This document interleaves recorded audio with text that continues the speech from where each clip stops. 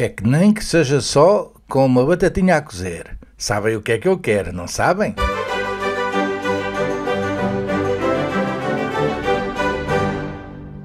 Nem que seja um tacho dos pequeninos. Este, por exemplo, está a cozer batatas, mas vamos pôr uma cabeça, uma cabeça, não, um dente de alho esmagado. Já pusemos orégãos e adivinhem lá o que é que vamos pôr mais? Pois, já sabia, um fiozinho de azeite.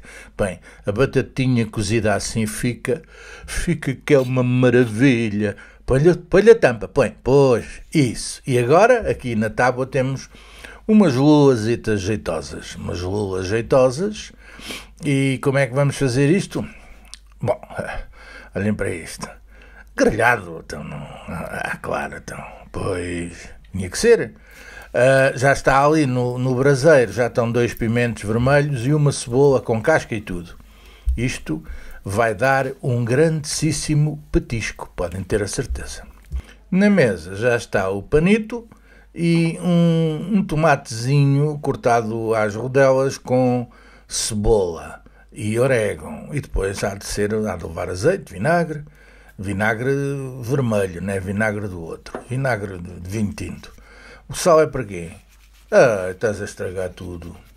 É pá, nas lulas não se sal. Bom, qual é que foi só uma pedrinha? Faz conta. Bem, vamos fazer conta que não vimos esta parte, mas pronto. Agora no braseiro, os pimentos já estão, já estão a ficar jeitosos, a cebola também, e portanto, se calhar está na hora da gente os livrar de, de, de, aqui do solário, do, do spa, onde eles estão a passar estas, estas férias de fim de verão, porque o verão já acabou, não é de fim de verão, de princípio de outono, exatamente. Ora, depois temos ali as, as garrafinhas. Ah, a cebola ficou assim, depois de grelhada, tirou-se a casca, ficou assim. Isto, garanto eu, é um grandíssimo petisco. Experimentem, porque é fácil de fazer.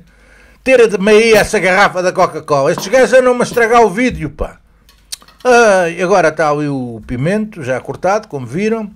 E depois a, a, a batatinha ficou assim com aquele aspecto todo jeitoso, anda mais com o vídeo mais para, com a câmera para a esquerda. E ele anda para baixo. Para, para, isso, temos ali o contemporal tinto para acompanhar o, então sim os pimentos, a saladinha de tomate e a batatinha, a batatinha cozida à, àquela maneira que todos vimos aqui como é que é. Que é segredo e não digam a ninguém que se põe azeite na água de cozer as batatas.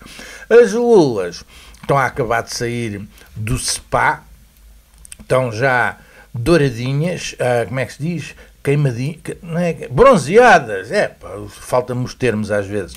Estão bronzeadas tal qual uma missa daquelas que vão ao solário. Tiras do solário. Ah, pois tem que se virar. No solário também viram as fanas que vão ao solário. Também vai lá o, o personal trainer e pumba, e às vezes viras. Pois. Epa, esta parte depois cortem, que é chato.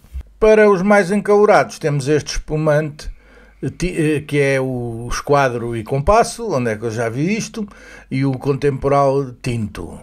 Uh, e pronto, aqui está a mesa com a cebolazinha grelhada, o pimentozinho, a saladinha e o melão ao fundo à espera de entrar.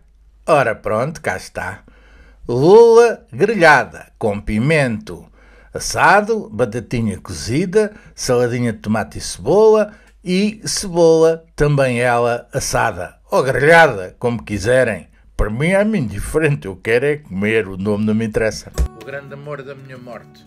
Podem encontrá-lo na internet, na UC, na FNAC, na Bertrand e na página, no site de vendas da editora Chiado, onde o livro foi editado.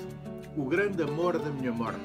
Quero dar um grande abraço, mas mesmo um grande abraço, um profundo abraço ao Guilherme Leite, porque me deu a oportunidade de prefaciar este seu primeiro romance. O livro é um misto de ficção e da realidade, ao fim e ao cabo. Estão aqui personagens que são personagens de morte.